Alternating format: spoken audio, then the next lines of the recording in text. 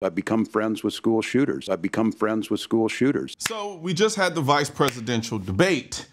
And um, yeah, they talked about guns a little bit. So what I'm gonna do in this video is I'm going to debunk Tim Walz's response to these gun questions because there's a lot to unpack here. So let's jump into it. To the CBS News vice presidential debate. We want to turn now to America's gun violence epidemic. The leading cause of death for children and teens in America is by firearms.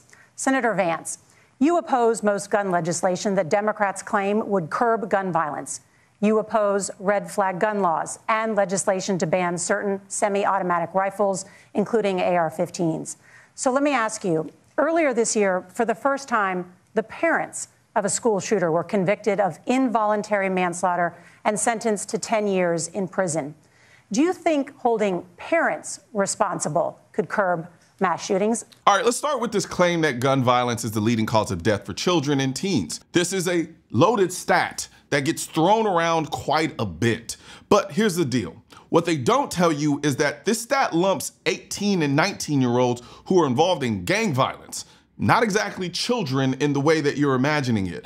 It is a convenient way to inflate the numbers to push a narrative. If we're talking about actual kids, young children, the leading cause of deaths are things like accidents, medical conditions, and other factors, not firearms. But they twist the stat to make it seem like school shootings are happening on every corner every single day. America doesn't have some overarching gun violence epidemic. We've got over 300 million people in this country and 400 million guns in this country, but the majority of gun deaths are self deletions, not murders. Once you take out those, you're left with around 10 to 15,000 homicides every year. And most of those, a vast majority, are happening in inner cities through gang and drug violence, not in suburban schools or playgrounds. So, no, there's not this massive epidemic of children getting gunned down on a regular.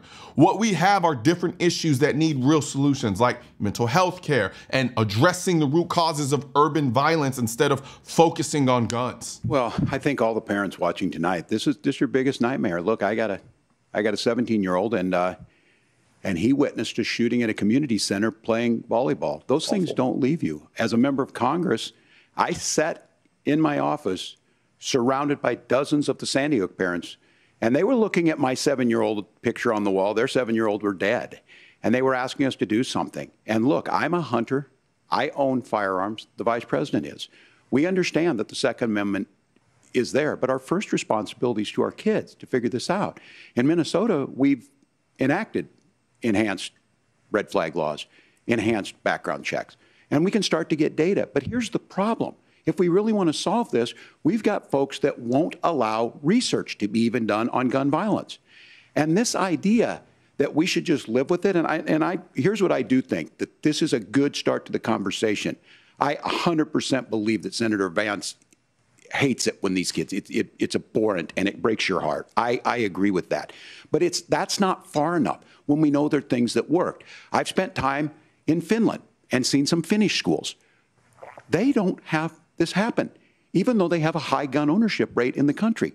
There are reasonable things that we can do to make a difference. It's not infringing on your Second Amendment. And the idea to have some of these weapons out there, it just doesn't make any sense. Kamala Harris, as an attorney general, worked on this issue. She knows that it's there. No one's trying to scaremonger and say we're taking your guns, but I ask all of you out there do you want your schools hardened to look like a fort? Is that, is that what we have to go when we know there's countries around the world that their children aren't practicing these types of drills? They're being kids. We owe it to them to get a fix. These are things that shouldn't be that difficult. You can still keep your firearms and we can make a difference. Anytime somebody leads with their hunter credentials to act like they support the Second Amendment, you know they are spewing nonsense. The Second Amendment isn't about hunting. It's about protecting your right to self defense and preventing tyranny. So when someone tries to justify their stance on gun control by saying, I own guns, I hunt, just know they're either ignorant of what the Second Amendment is really about or they don't actually support it in its full capacity, which is the case here with Tim Walz. Owning a gun doesn't automatically make you a defender of the Second Amendment. First of all, you were the governor of Minnesota. You had no choice. That was the only way you were going to get into position. But you really didn't truly believe in the Second Amendment, which is why you spent 20 years teaching in China. But we're not even going to go down that road. But some people are fine with some guns, but will happily ban the ones that they don't like, that they think, well, I support guns, just not AR 15s. Well, the Second Amendment isn't, oh, you can support this or you can support that. Last I recall, it said shall not be infringed. But you clearly don't seem to understand that that's not how rights work. The Second Amendment covers all firearms, handguns, rifles, you name it. Then there's the claim that infringing on rights will somehow solve gun violence. Spoiler alert, it won't.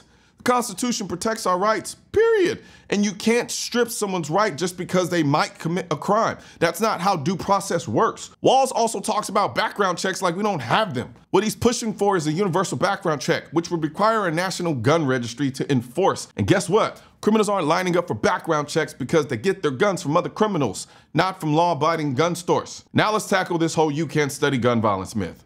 What Walz is referring to is the Dickey Amendment, which stops federal funds from being used to push gun control through biased research. That doesn't mean you can't study gun violence. It just means you can't use taxpayer money to create anti-gun propaganda disguised as research.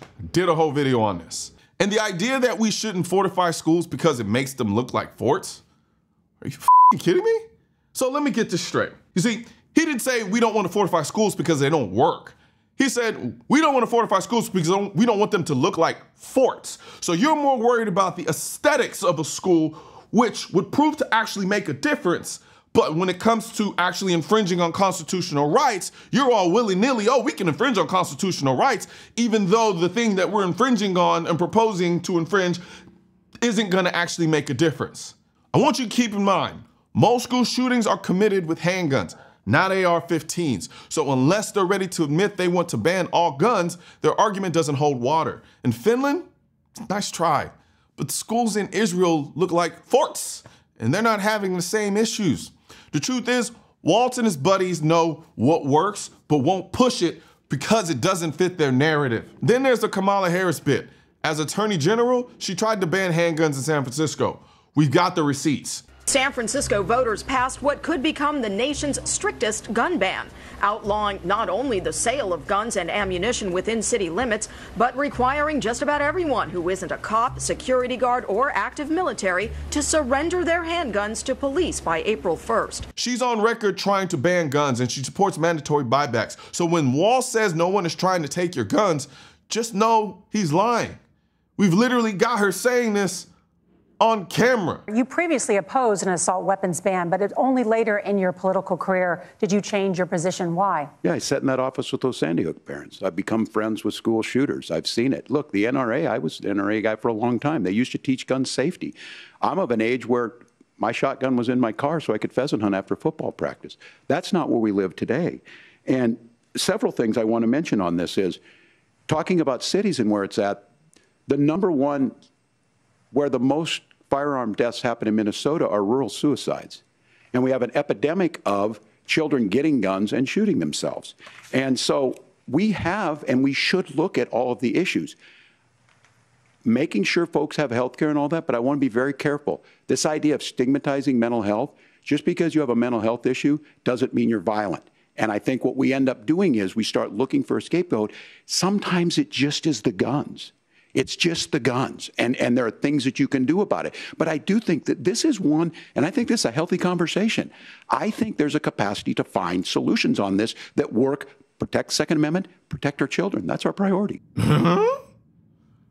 Did Tim Walsh just say he became friends with school shooters?